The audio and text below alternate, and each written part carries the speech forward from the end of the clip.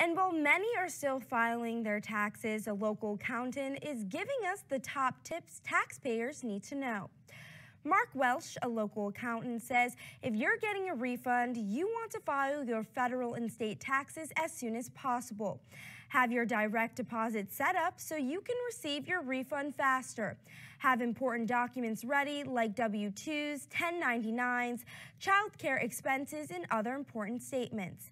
If you've had a dependent change like marriage or a baby, that's important to note too. And a big one, he says, many who didn't receive the stimulus money from last year may still be eligible.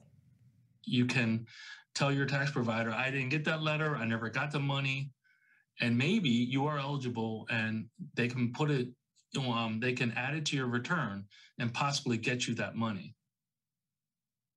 The deadline to file your taxes is April 18th.